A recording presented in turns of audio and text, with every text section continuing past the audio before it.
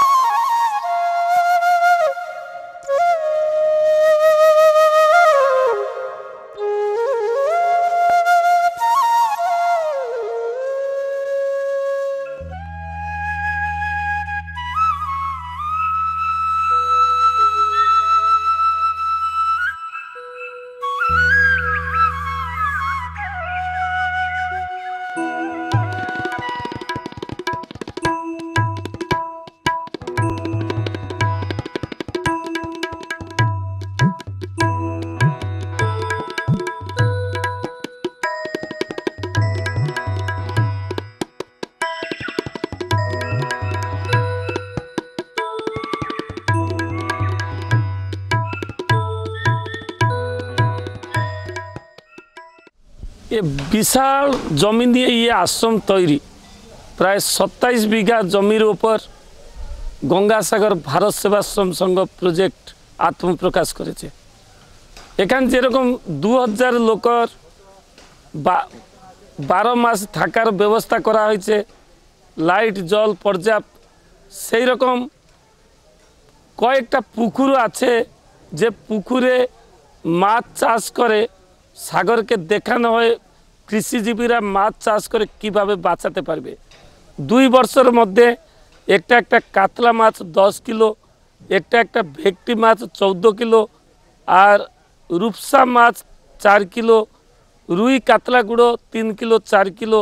বিভিন্ন কিসমের মাছ চাষ করেই আমি এগুলো আমাদের গঙ্গাসাগর যে এডিএস সাহেব রয়েছেন, বিবেকানন্দ বাঘ, উনি পরিতৃপ্ত। এ মাছ চাষ দেখে সুন্দরবন মৎস্য দপ্তর আমাকে তাদের আধুনিক পদ্ধতি শিখিয়েছে।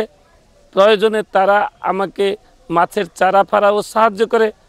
কৃষিক্ষেত্রে যে জমি রয়েছে সেখানে আমরা সূর্যমুখী চাষ করি।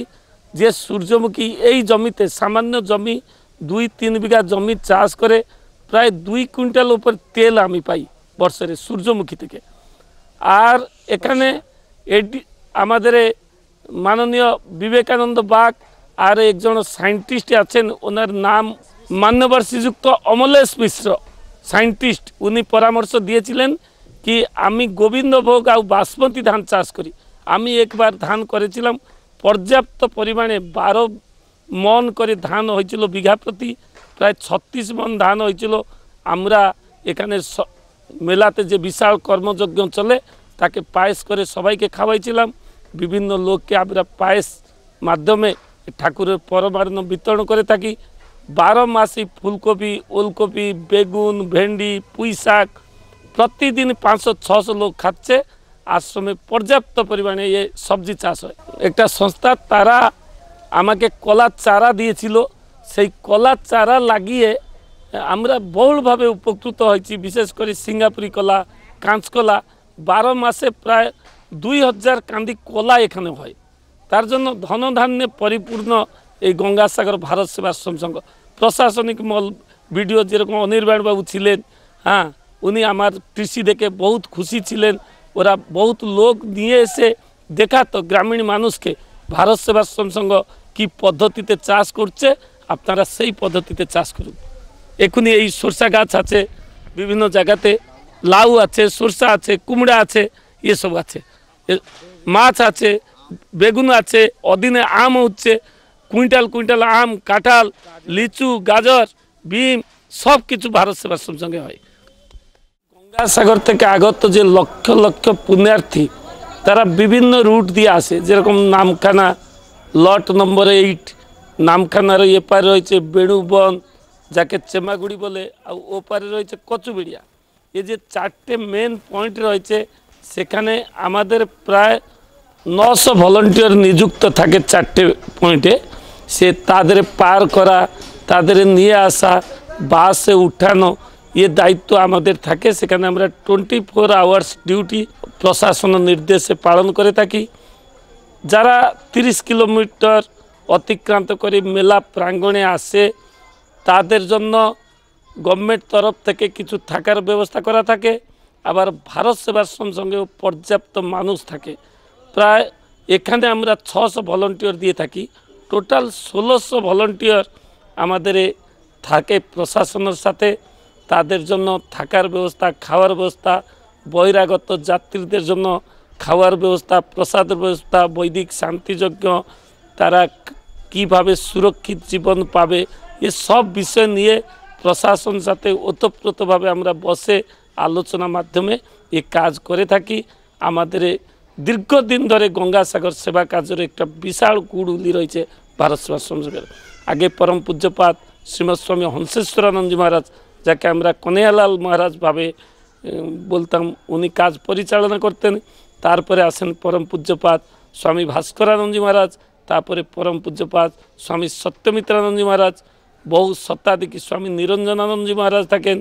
এখুনি ভারত সেবাশ্রম প্রধান সম্পাদক শ্রীমৎ স্বামী বিশ্বাত্মানন্দজি মহারাজ যে প্রধান সম্পাদক আছেন, ওনার নেতৃত্বে প্রায় শতাধিক সন্ন্যাসী, ষোলোশো ভলেন্টিয়ার মিলে আমরা এ পরিষেবা দেওয়ার জন্য প্রস্তুত রয়েছি।